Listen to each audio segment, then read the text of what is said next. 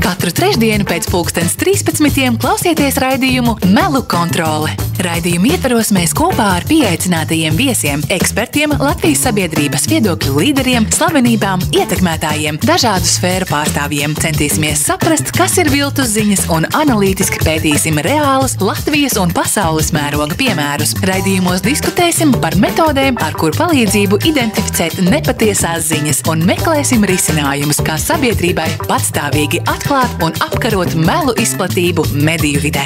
Zvaniet mums tiešraidē, rakstiet komentārus Facebook un WhatsApp un klausieties raidījumus Melu kontrole katru trešdienu pēc pulkstens 13. Melu kontrole. Projektu finansē Mediju atbalsta fonds no Latvijas valsts budžeta līdzekļiem. Par projekta Melu kontrole saturu atbildes JRNR LTD. Jā, labdien! Rīgas Stradiņu universitātes profesors Denis Hanas mūsu studijā. Labdien! Sveicināti! Jā, ot šodien, tieši šodien Baltika līdz dibinātā un žurnālisti Inga Springe teica, ka populisti Covid-19 jautājumus pašlaik ir skaļāki nekā valsts, vai tu tam piekrīti vispār? Es domāju, jā, jo īstenībā, ja mēs salīdzinātu situāciju šeit un Vācijā, kur es uh, biežāk uzturos un, un, un darbojos, es redzu, ka arī Vācija, kas ir nosacīta ļoti paklausīga zemē, un sabiedrība tad arī tur aizvien vairāk jau īstenībā vasaras beigas uh, skaļāk kļūst tie, kas apšaubā gan vīrusu, gan uh, visus, teiksim, līdzekļus un paņēmienus, kas tā kā mūs sargātu. Nu, tur ir dažādi iemesli. Es domāju, ka pirmkārt tas, ka cilvēki ir ļoti noguruši. Un tādēļ arī viņiem pievienojas aizvien vairāk cilvēku, kam vienkārši ir grūti to uh, izturēt. Kaut arī es teiktu, ka Latvijas situācijā nu, nevajadzētu būt tik ļoti kaprīziem, jo mums bija ļoti liberāli tie, tie noteikumi. Es pats jau ierobežojumi bija nu, salīdzinot ar Eh, citiem valstīm diezgan tādi Protams, maigi. Ja? Jā, jā, jo principā mēs redzam, kas notika Spānijā, mēs redzam, kas bija Francijā, un mēs redzam, ka tur patiešām bija komandanta stunda, un tur bija viena stunda, tur pasteikti, jā, tieši tā. Jā. Jā, respektīvi, mums tiešām uh, ir grēks sudzēties, bet uh, ir skaidrs, ka, um, ka šai situācijā plaukst arī visdažādākas, teiksim, sazvarestības teorijas, vai drīzāk mīti, jo teorija tur nav, teorija ir kaut kā strukturēts un tomēr pierādāms. Šeit mums drīzāk ir runa par to, ka, nu, īstenībā cilvēki netic, viņi netic valdībai. Es drīzāk teiktu, ka šeit ir arī tāds mm, svarīgs indikators arī tam, kāda ir komunikācija starp sabiedrību un politisko elīti. Es redzu, ka Vācijā. Man nav informācijas par Francijas sabiedrību, bet Vācijā es, es zinu, kas tur notiek. Tur ir zināmā veidā tāds līgums, jā, tā tāda līguma attiecības, respektīvi, politiska elite ir konstatējusi problēmu, tā tad piedāvā risinājumu. Un, un, un tas tā ir tā, tāds nu, tā līgums, jā, mēs jums, un, jā, bet, nu, jā, jā, tas, tas bija aicinājums, uh mhm. -huh. kas uh, gan arī ļoti ietekmēja arī uh, kancleres popularitāti, respektīvi viņa kļuva atkal ļoti atpazīstama un ļoti jā, populāra. Jā, nesen pavisam jau bija it kā visiem skaidrs, ka viņi aiziet. Jā, tieši, jā. Uh, nē, acīm redzam, vēl viņi daudz kas darams. Jā. Bet, nu, vienalga, runā par viņu, runa ir par to, ka tur ir vienošanas, kas ir balstīta uh, spēja uzticēties. Šeit pie mums uh, pietiek tiešām braukt braukt teiksim, ar taksometru, lai varētu redzēt un dzirdēt vienkārši fantastiskas versijas par to, ka valdībā tik, ir tikai bandīti, tie, kas tur krāpjas, un tie, kur ir visādas finanšu afēras, un tas viss statistika ir viltota, vīrusa nav, tas ir tā, tāds tikai biznesa projekts un tā tālāk. Un tā tālāk. Mirušie visas pasaules malās cilvēkiem absolūti neko nenozīmē. Nu, jā, respektīvi, bet nenozīmē ne jau tikai vīrusu. Tur ir visas tās stulbas versijas par tiem 5G, tur tiem stabiem, un par Billu Gates, un par čipiem, un kas tur tikai nav. Ja? Un tad, protams, tur ir arī, mēs, mēs redzam, ka, diemžēl, apgaismība ir ļoti trausla, un mēs redzam arī to, ka cilvēks ir gatavs ticēt drīzāk savam bailēm, bet šeit atkal un atkal es gribētu atgriezties pie jautājuma par to, cik ļoti mums ir dziļa un milzīga man šķiet, ka pat vairs nepārvarama plaisa starp politisko elīti un sabiedrību. Ja?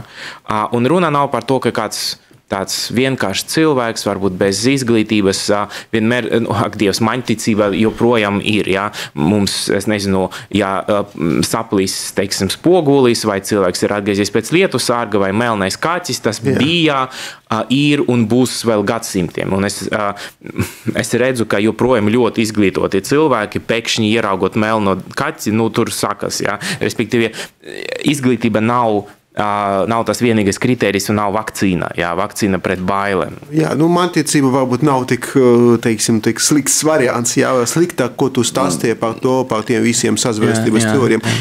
Kam jāuzņemas tavuprāt atbildība, ja mēs vispār varam par to runāt? Vai tas ir mediju vaina, vai tas ir politisko elītu vaina, teiksim tā? Kam jāuzņemas to atbildību? Es domāju, visiem pirmkārt ir jāsaprot, kādēļ ir šāda attieksme pret to, ko valdība piedāvā vai lemj. Jo šeit ir, man liekas, divi tādi slāņi vai divas grupas, jā, teiksim, vai divi līmeņi. Pirmais ir tas, ka cilvēki vienmēr ticēs kaut kam brīnumainam, vai tas ir negatīvs vai tas ir pozitīvs. Um, cilvēkam vienmēr būs bailes. Otra lieta ir tas, kā var bailes racionalizēt.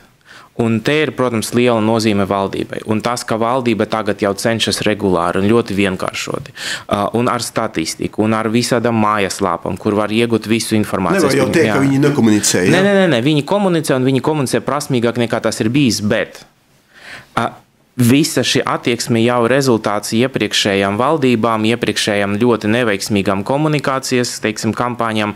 Nerunājot jau par to, ka mums tomēr ir etniska plaisa, jā, mums ir arī etniska plaisa medijos un arī teiksim, publiskajā telpā. Tādēļ visi šie taksi, teiksim, takšu vadītāji, visi teiksim, tur kundzītes, tur setnieki un tā tālāk, vai vienalga kādas profesijas, kas neusticās, viņi neusticās jau ne tikai par šo infekciju vai ne par vīrusu. Viņi neusticās neusticas arī teiksim, latviešu politiskai elitei, un tad mēs varam atgriezties un tūlīt pat nonāksim pie nepilsoņiem, pie pilsonības likumā, pie 90. gada, pie tādas frontes un pie visa kā. Teiksim, tā dziļāk. Jā, jā, jā, noteikti, noteikti. Tur, tur, tur ir ļoti, ļoti daudz dziļu slāņu, jā, jo nu, netic. Ja? Un netic jau tieši tādēļ, ka ir uh, finanšu skandāli, uh, joprojām uh, ir, ir ļoti teiksim, daudz uh, korupcijas. Mēs redzam, kā var piesēkt. Mēs redzam, teiksim, arī nepotismu, mēs redzam visu, ko. Ja? Un līdz ar to um, tā, tā, tā, tā distance ir ļoti liela. Un īstenībā, tepat sēžot tur, kur tu tagad esi, es saņemu dažādus zvānus. Es zinu, ka tas tūlīt, tūlīt beigsies ar to teiksim, tēzi par latviešu sazvērestību pret krieviem, par nepilsoņiem. Tā tālāk, pie, mums ir ļoti daudz nerisinātu lietu. Tādēļ šis vīrus ir drīzāk tāds indikators. Man vispār liekas, ka, ka vīrusam ir arī tāda, nu, zināmā veidā, sociāla, kultūrāla tāda otra dzīve. Viena lieta ir tā skumja statistika, Otra lieta ir ietekme uz ekonomiku, mm -hmm. bet trešā lieta ir tāda, ka vīrusam ir, uh, vīrus ir tā, tāds kā es teiktu, tāds indikators, kas, kas liecina par to, kāda ir pilsoniskā sabiedrības kvalitāte konkrētajā valstī. Ja? Un nu, mums ir diezgan bedīgi. Jā, bet nu, kāda varētu būt, ja, jābūt mediju lomai, jo no vienas puses it kā, teiksim tā, nu, medijiem tā, tā ir pieņemts, ka laba ziņa tas ir slikta ziņa. Un līdz ar to, protams, ka visas tas negācijas, par ko tu arī tagad runā, arī par korupciju, protams, ka to prese viss, teiksim, tā sīkī apraksta un tā tālāk. Un, tie cilvēki, pat tie takšu vadītāji, kas varbūt neiedziļinās un neanalizē to lietas būtību, viņi jau virsrakstu izlasa, o, nu skaidrs, visi, teiksim, zoku un korupcija, teiksim, tā plaukstu. Un mēs redzam, kas notiek, un mani arī apzauga. Ja, un kad tu mēģini viņam, teiksim, tā pajautāt, tā, ko tev nozāga, ja, to viņš nevar atbildēt, bet nu, skaidrs, ka, ka viss ir slikts. Ja. Mm. Visi, ko darīt mēdījiem? Tad, nu, es domāju, ka jārunā arī par to, ka līdzīgi kā citas preces, Uh, ir dažāda kvalitāte. Teiksim, dažāda kvalitāte ir uh, koka mēbelēm, Jā, porcelānām, uh, pārtīkai. Uh, um, tur uh, mašīnām. Un arī medijiem, un arī medijiem. Jā. Līdz ar to uh, vienmēr būs tādi mediji, kas dzīvos ar sarkaniem virsrakstiem uh, un uh, teiksim, tādiem kičīgiem nosaukumiem un skaļi brecošie. Un, un tas ir skaidrs, un tad ir jautājums, ko es patērēju. Jā. Tad uh, no otras puses ir arī jautājums, ko es varu atļauties patērēt. Jā. Tas tāpat kā ar veselīgu dzīvesveidu. Mm -hmm. Tas mhm. zināmā veidā arī saistīts ar to, cik daudz man ir naudas makā. Un, uh, Vai teiksim, tieši tā, jā, jā, vai uh, hamburgers vienmēr jā. būs uh, lielāks, treknāks un, un lētāks. Ja? Jā. Uh, tas ir viens. Uh, otrais, teiksim, uh, bet vienmēr var mēģināt to kvalitāti arī uzlabot. Ja? Tad ir jautājums arī um, mūsu sabiedrisko mediju finansēšanas teiksim, algoritms. Mhm. -huh. Un es uzskatu, ka mums ir uh, daudz un nopietnas problēmas tieši ar sabiedrisku mediju spēju būt sabiedriskiem, respektīvi neatkarīgiem un neitrāliem. Um, jā, tagad ir jaunais mediju likums, bet tur ir arī, kā kolēģi saka, ļoti daudz teiksim, tādu baltu plankumu vai mhm. deficītu. Mm -hmm. es, piemēram, uzskatu, ka mums būtu jāpārņem Vācijas variants, kur sabiedrība pati finansē sabiedriskus medijus. Un tas ir diezgan vienkārši. Patiešu kaut kādu Jā, tas ir tas maksā, ļoti jā? vienkārši. Tikko es pieregistrējos Berlīnē, kāda dzīvokļa, man momentāli nāca atgādinājums, jūs esat tagad tur maisaimniecībā, tur vienalga viens cilvēks vai cik. Jā. Uh, un uh, ir likums, kas uh, paredz, ka katra maisaimniecībā ir tur televizors, nav tur televizorā, maksa šo, teiksim, kvartāla, maksu, kvartāla nu, mēnesi. Sanāk, mēnesi sanāk ap 15 eiro. Jā, tā, respektīvi, tas ir 50 centi dienā. Uh mhm. -huh. un, tas ir jāmaksā tā kā reizes trijos mēnešos, un šī nauda patieši iet tātad centrālām Vācijas vai, vai sabiedriskiem Vācijas medijiem, kas ir divi kanāli, TV kanāli un arī viens radio. Viņi patiešām ir neatkarīgi. Viņi, viņi saņem to patiešo uh -huh. no sabiedrības, un, un to parauga satversmes tiesa. Uh, kur, ko tas nozīmē? Tas nozīmē, ka nevienā koalīcijā nevar izdarīt tā, ka tas notiek pie mums. Man ir vairāki kolēģi Latvijas radio, kas ir sūdzējušies, ka griež nost finansējumu, aiziet jaunie, talantīgie žurnālisti, kuriem vajag uzturēt ģimeni un tā tālāk. Paliek tie, kuriem ir teikt, pirms pensijas vecums un kuriem nav kur iet un viņi klusēs. Protams, un, uh, mēs labi zinām, ko nozīmē turēt pusbādā medijus. Mēs labi zinām, kā tas ir, kad medijos, uh, teiksim, mediju saturu nosaka valdības, teiksim, koalīcijas partijas, kura nav nevienas, nu, teiksim, progresīvas sociāldemokrātiskas partijas, bet ir uh, radikāli nacionalistiskas partijas. Uh, respektīvi, uh, tā ir uh, netieša, bet ļoti, ļoti tieša atkarība. Vācijā neviena koalīcija, sarkana, brūni, dzeltenā, vienalga kāda kāda nekad nevarēs piegriezt to, jo tas ir tā teikt, finanšu. Tas tāpat, kā mēs maksājam nodokļus, jā, jā, tāpat protams, mēs maksājam arī šo. Un tas ir tas variants, kad mēdīji ir neatkarīgi. Neatkarīgi ziņa, ka vismaz viņiem neviens nenogriezīs to naudu, un viņi varēs turpināt, tā teikt, funkcionēt normāli. Jā. Un tādēļ viņi neklusēs, un tādēļ šie mēdīji arī atmasko skandālus, un tādēļ politiska elite nemitīgi tiek uzraudzīta, un tādēļ arī politiska elite saprot, ko drīkst un ko nedrīkst. Pie mums no saimes tribīnes var teikt jebko, bez jebkādas politiskas, ētiskas un īstenībā arī krimināla atbildības. Ja mēs runājam par sociālajiem tīkliem, jo daudzreiz man liekas, ka tie sociāli tīkli jau spēlē, teiksim tā, lielāku lomu nekā medija, ja, jo tu cilvēki visu laiku dzīvo diennakti un kaut ko raksta un saņem informāciju un tā tālāk. No vienas puses ir vārda brīvība, ir demokrātija, bet no otras puses laikam ir, nu, teiksim tā, ir kaut kāda robeža, ja, ko, ko tu pat demokrātija tu nevar pārkāpt. Nu, pieņemsim, ja kāds uh, newsmakers, teiksim tā, viņš izplata kaut kādu, kaut kādu informāciju par to, ka vīrusu nav un mm. nav jāvalka tas maskas, tas jau kļūst bīstami. Tas jau nevar teikt, kā pandēmijas laika tas viss, eh, tas ir vārda brīvība, un tu vari stāstīt un apgalvot, ko tu, ko tu vēlēsies. Kā vispār eh, uz to reaģē, vai nav pienācis brīdis arī bārgāk sodīt tos, kas, nu, principā apdraud eh, sabiedrību? Nu, nesen, burtiski, man liekas, vakardien vai aizvakardien, cik es klausījos Vācijas ziņas, tad, jā, tur policija pārmeklē arī viena, es aizmirsu uzvārdu. Jā, nu, tas nav jau jā, vienā, jā. tā teikt, vācu tāda konspirāciju teoriju, tāda autora teiksim, dzīvoklī, jo viņš patiešām viņi, viņš ir ļoti populārs blogeris, viņam tur tūkstošiem un tūkstošiem. Un, jā, jā, jā, un viņš, respektīvi, viņš jau ir ietekmīgs, jā, un tā ir zināmā veida konkurence arī oficiāli, tā teikt, valdības komunikācija, tas ir skaidrs.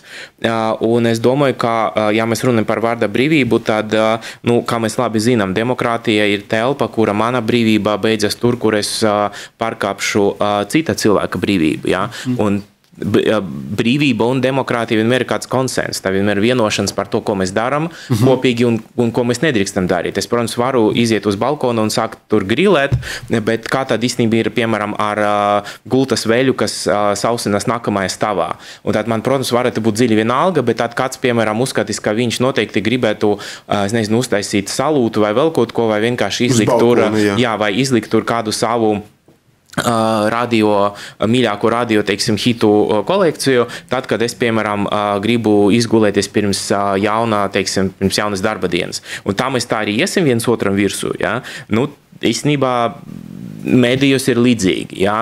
Ir naida runa, tā ir no vienas puses grūti identificējama, no otras puses ir skaidrs, ka viss, kas pazemo cilvēka godu un cieņu, viss aizskar viņa brīvību. Un viss ir šā vai tā definējams, kā naida runa. Mēs te tagad runājam par to, kā par mediju fenomenu. Jā. Protams, te mums nav juristi klāt, jā, un juristi varētu to atpazīt arī savādāk, un tas noteikti ir grūti, un es zinu, ka viņi to arī tā definē, ka tas diezgan grūta, teiksim, grūti atpazīstama lieta, bet jā, man liekas, ka tas universālais indikators ir cilvēka, teiksim, cilvēka gods, jā, respektīvi noliegt cilvēka identitātes uh, tiesības pastāvēt tai identitātei, tas jau ir teikt, mēģinājums aizskart cilvēka brīvību, un, un, protams, tas arī aicina uz naidu. Jo es, piemēram, uzskatu, ka naida runas pereklis ir Latvijas saimā. Mēs varam pacelt stenogrammas un redzēt visdažādākus deputātus, kas atļaujas antisemitiskus, homofobiskus, pret feminisma vērstus tekstus. Ja? Es domāju, ka mūsu viena no lielākām problēmu zonām ir tieši saimā. Mhm. Un līdz ar to visa sabiedrība to redz. Un... Protams, tā ir politiska elite, viņi sankcionē to. Un, labi, ok, lielākoties cilvēki saimē netic un politiķiem arī, bet to jau viņi klausās. Jā, viņi redz, teiksim, kā es tagad nesaukšu, mēs pilnībā, lai tiešām ielūkojas, visas stenogrammas ir pieejamas. Tā ir noteikti ļoti skumja las, lasam viela, bet tur ļoti daudz, kas tur viss ir redzams. Jā. Un, protams, cilvēki arī uzskata, ka jā, politiķis X var atļauties kaut ko pateikt par ebrejiem vai par gejiem. Nu, tad es arī to darīšu. Ja? Vai, teiksim, à, pret sievietēm, nu tad davai arī. Un, respektīvi, tur no vārda līdz sišanai, vajāšanai pf, ir divi soļi. Mm -hmm. Ja mēs runājam ārpus teiksim, saimas, to naida runa no vienas puses it kā liekas, ka notiek nu, kaut kāda liela bēda, nu, pieņemsim tā pandēmija. Ja? Mm. Un tagad jau viss ir runa par to cilvēces eksistenci. Nu, varbūt nav jau tik drūms, drūma šī aina, bet nu, tomēr ir tāda ļoti teiksim, bīstama situācija. Tad visiem, nu, es nezinu, par visu cilvēcību es nerunāšu, ja? bet nu, vismaz nu, Latvijas iedzīvotājiem, cik mums jau to ir pusotros miljonus. Mēs jau vairāk, to nezinām. Nu, mēs to nezinām, bet nu, vajadzētu nu, vismaz, teiksim, tā, nu, ja neapvienoties, nu, vismaz ar to ar naida runām nu, piebremzēt drusciņi. Jā, bet tas nenotiek. Ar ko tas ir saistīts? Varbūt tas patiešām nu, cilvēki ir pa, paši ir panika izmisuma, un tad notiek šis izvirdums, jā, naida izvirdums. Nu, teiksim, tā. man jāsaka, ka tas man ir varbūt lielākais tāds um, noslēpums, un, un es īsti nevaru to saprast, jo Um, mēs bieži sevi kaut kā raksturojam kā rietumus, un mēs labprāt gribētu, un ir arī politiķi, kas uzskata, ka mēs esam tādi skandināvi, tā kā Jā. ziemeļi un tā tālāk. Es uzskatu, ka tie visi ir murgi, jo mēs nekādi ziemeļi neesam. Ziemeļu sabiedrības ir vismaz jau gadu desmitiem ļoti iekļaujošas ļoti mierīgas, kas attiecas, jā, ja? tieši tā, kas attiecas uz citādo, un kāds tas arī nebūtu, vai nu vizuāli, etniski, teiksim, reliģiski, seksuāli, sociāli, veselības ziņā, vienalga kas. Šīs ir sabiedrības, kas izdarījušas ļoti daudz sieviešu tiesībām, Ja? Un mēs redzam, ka tur ir burtiski veselas sieviešu valdības. Ja? Un, Un tādēļ nu, nu, nevajag īsti kā, uh, piestiprināt sevi pie tiem, kas uh, ir tomēr daudz ko izdarījuši. Mēs, uh, manuprāt, esam joprojām ļoti teiksim, padomjas tāds relikts. Ja? Demokrātijas vērtība mums ļoti strauji ir devalvējusies. Um, vienai grupai tas ir romantiskais nacionālisms un viņu patiešām ļoti smagā vēstures traģēdija, ar kuru nekas netiek darīts. Tra, ar traģēdiju ir jāstrādā. Jā. Mēs nevaram visu laiku atvērt mm -hmm. to, to kasti vai visu laiku skrāpēt to brūci. Jā. Tas nekāda veidā nemazina traģēdijas apmērus un smagumu, bet ar to kaut kas ir jādara. Mēs nevaram visu laiku būt uz vietas. Otra grupa tas ir tā, tā ir traģiska, vai teiksim, ja ne traģiska, tā traumatiska pieredze, tātad nepilsoņi un tā tālāk. Un tā tālāk. Tur valodas eksāmeni, sodi, komisijas un tā tālāk. Respektīvi, šādas ir tās divas traumētas kopienas, kuras ir ārkārtīgi egoistiskas. Ja viena kopiena neatveras citai, otrai tāpat ir sava, savas bailes un tā tālāk. Un tā, respektīvi, nu, mums arī otru nevajag. Un tādēļ es domāju, ka tur var redzēt to naidu, plus arī padomju tradīcijā atšķirīgais un citādais ir Tātad ienaidnieks ir tas, ko sauc par ienaidnieka bildēm vai tēliem. Un, Toreiz tas bija teiksim, buržuāziskais kaut kāds režīms vai vēl kaut kas. Tagad tie ir vai nu teiksim, bijuši padomju cilvēki, vai teiksim, arābu students, vai, vai gejs, vai, vai sieviete feministe, vai, vai čigāns, un vienalga kas. Jā, respektīvi, mēs esam caurstrāvoti ar šo naidu. Un, es neteiktu, ka mēs drīkstam runāt par Latviju kā par mūsdienu rietumu sabiedrību. Mums vēl ir ļoti daudz darāmā, lai mēs par tādu kļūtu. Ja? Un, jā, mums ir funkcionējuša demokrātija, bet tajā ir ļoti daudz. Uh, tādu vāju vietu, un ir arī vairākas krīzes. Pirmkārt, nav saliedētības kultūras, nav saliedētības politikas, jo tas vienkārši smieklīgi, ka Nacionālajā partija kultūras ministrijā atbildīga par integrācijas nodaļu un politiku. Tas ir vienkārši tas Krilova basņa, ja, tas, ir smieklīgi. Tas ir viens. Otrais mums ir jāveido stingrāka atbildība par naida runu arī parlamentā ja, izsaukt kādu homofobu uz etikas komisiju, kur viņš kaut ko nomurminās, bet Twitterī būs dienas varonis, kāda jēga? Nekādas. Lūk, un trešais ir, protams, tas, ka mūs mēģina provincializēt. Un kamēr apkārt plosas globalizācijā, kur ir migranti, daļa no sabiedrības, kur Vācija runā piemēram par to, kā integrēt trešo paudzi un kā palielināt migrantu pārstāvniecību, teiksim, komunālajās struktūras, pie mums nedod Dievs, būs kādi desmit bēgļi, kuriem vajadzētu palīdzēt šeit iekļauties, jo tas galu galā ir arī humanisms. Un tā ir, tā ir tas, tā, tas cilvēcības faktors, jo simtiem un tūkstošiem latviešu bija bēgļi. To visi ir aizmirsuši.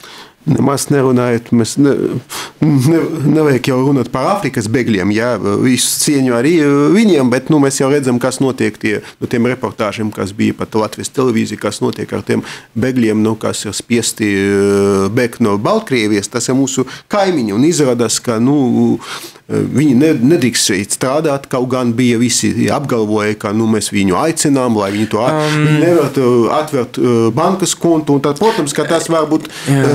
Nav teiksim, kaut kāda valsts politika, bet nu, mēs redzam, jā, bet valsts notiek, politiku jā. var arī pātrināt. Jā, protams, jā, ja mums jā. ir ārkārtas stāvoklis, kur visu ko ātri var atrisināt, tad var atrisināt arī šo. Tas ir humanitārais teiksim, akts, tur var ātri pieņemt lēmumus, tur nav nepieciešams saima veidot jaunus likumus, vienmēr var kaut kādus tur MK noteikumus jā. un pārējais tām viņi ir no Eiropas. Viņi jau nevajag tik daudz jā, laiku, lai jā. viņu teiksim, tā integrētu. Jā. Ja, ja grib, tad var, bet es domāju, ka tas tāds drīzāk tāds. Mm, tāds žests, humanitārais žests bez sekām, jo, ja mēs tiešām gribam viņiem palīdzēt, tad atveriet, jo tas pats ir bijis 17. gadsimtā. Franču karalis Lūsis 14. dzīves otrajā daļā ir kļuvis ļoti tāds ticīgs, jā, mm -hmm. jo viņa mīļākā bija ļoti ticīga, jā. Jā, respektīvi ar ko tu, kas saka, с кем поведешься. Un tātad viņš ir kļuvis par radikālu katoli un ir sācis vājāt hugenotus, ja protestantus, ko viņa vectēvs tātad ir atļāvis uzturēties, jā, mm -hmm. un, un piešķira pilsoņu, pilsoņu tiesības. Un viņi, viņus vajāja arī fiziski, un viņi kļuvuši par bēgļiem, kas ir, un Prūsijas karalis, toreizējais kurfirsts, ir piedāvājis viņiem nāciet, strādājiet, viņi bija baņķieri, viņi bija tirgotāji, tur bija amatnieki, tur bija manufaktūras. Un, un viņi valstī tās ir izdevīgi. Jā, un tātad Prūsija ir dabūjusi kapitālu, Prūsija ir dabūjusi tehnoloģijas, Prūsija ir dabūjusi cilvēku resursus. Un sāka attīstīties. Un sāka ļoti strauji attīstīties. Viņi tur, protams, uzcēla, pat uzcēla viņiem, teiksim, dievnāmus, lai viņi tur varētu, tā teikt, un, un, un, un franču valoda, un ir arī Parīzē, ir vairākas tādas tā, tā, tā, kapsētas, kur, teiksim, cilvēki, kas ir miruši, tad viņiem tajā kapsētē ir arī tā, tādas pateicības, teiksim, zīmēs, franču valoda rakstīts, bet, nezinu, tur gāja bojā, aizsargāja dzimteni, bet par dzimteni viņi uzskatīja jau savu Prūsiju. Ja? Līdz ar to tādi piemēri mums ir, un mums vajadzētu tos cilvēkus, kas darbojas tur tehnoloģijas un tā tālāk, un tā tālāk mums vispār darba spēka nav.